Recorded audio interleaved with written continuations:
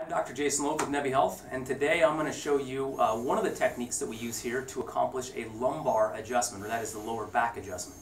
The first thing we do before we go and adjust somebody, we always want to assess them to determine and find out which joints are restricted um, so we know which joints we can adjust and adjust the right joints. And that's very important is to adjust the correct joints. I don't just want to take and, and adjust every joint in the body, but I want to find where that scar tissue is in that restriction and get it to move correctly.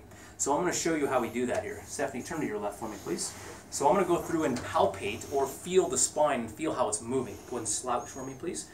So as I'm coming through here, I'm pushing on each of these joints of the spine and I'm checking the mobility in all different directions. So I'm going to rotate it, push it to the side, uh, check it front to back, and feel where I find the restriction within her spine. And we're going to check that in both ways. We're going to go through and check to the right side and to the left side. And when I'm feeling Stephanie's spine, there's one specific joint that sticks out right here that doesn't move very well.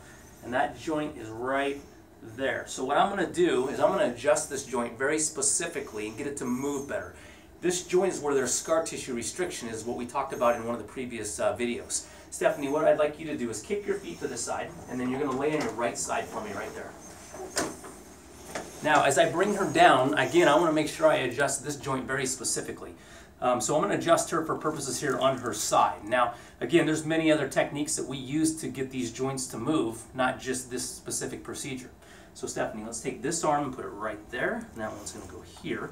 And let your knee turn down right like that. So I'm going to get the joint to a spot of tension. And what I'm going to do is give it an impulse or a little bit of a thrust to make that move and break free some of that scar tissue.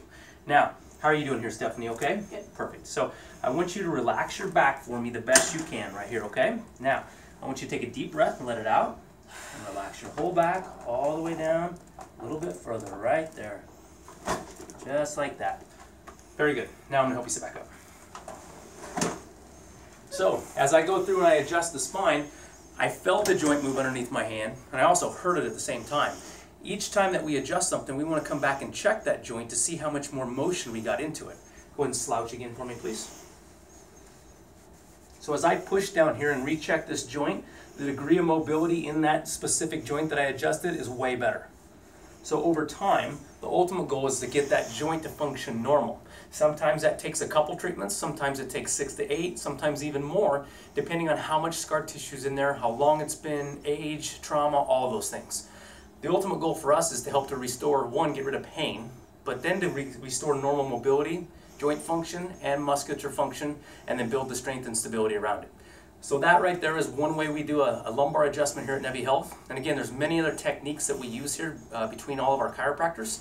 Um, so hopefully that helps to educate you a little more on what a, a lumbar adjustment is.